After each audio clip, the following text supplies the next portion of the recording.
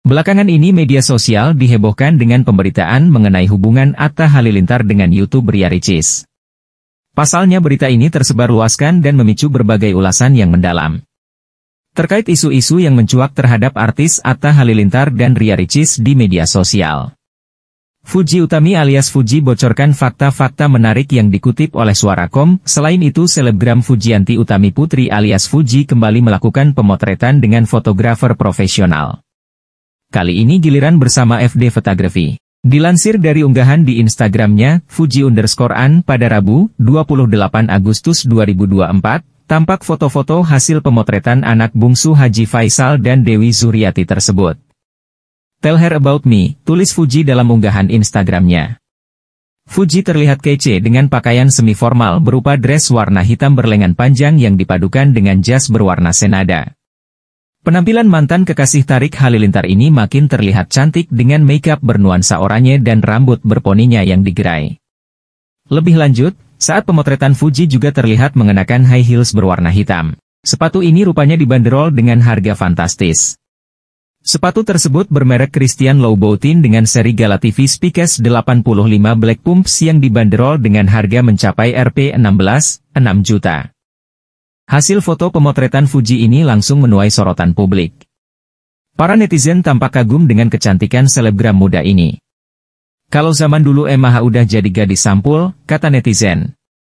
Bah kata kita ini cakep pisan, imbuh netizen. Makin ke sini makin cakep ini anak, tambah netizen. Cantiknya kelewatan banget.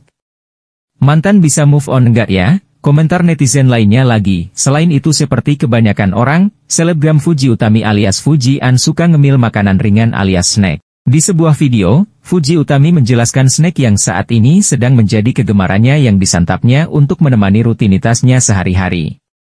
Fuji Utami menyadari banyak kegiatan yang dilakukannya setiap hari, mulai membuat konten untuk media sosial hingga syuting.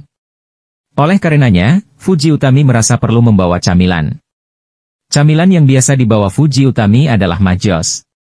Banyak snack jadul yang dikemas dengan rasa modern, mulai lidi-lidian hingga pilus cikur yang masuk dalam list camilan favorit Fuji Utami. Camilan favoritku ini dari majos yang variannya lengkap banget, ada macaroni, pilus cikur, keripik tempe, basreng, sampai ada lidi-lidian, kata Fuji Utami di video yang diunggahnya di akun media sosialnya. Ini bisa menemaniku dan bisa dibawa ke mana saja, lanjutnya. Yanuar Prakoso, social media specialist, mengatakan, pihaknya menghadirkan camilan jadul dengan cita rasa yang modern. Camilan atau makanan ringan dalam kemasan asli Solo di bawah CV Aneka Cemilan Indonesia yang juga khas Indonesia, bisa dibilang camilan jadul, kata Yanuar Prakoso. Camilan jadul ini dihadirkan dengan rasa modern dan unik dengan kemasan jumbo standing pouch yang memberikan pengalaman baru dalam menikmati camilan.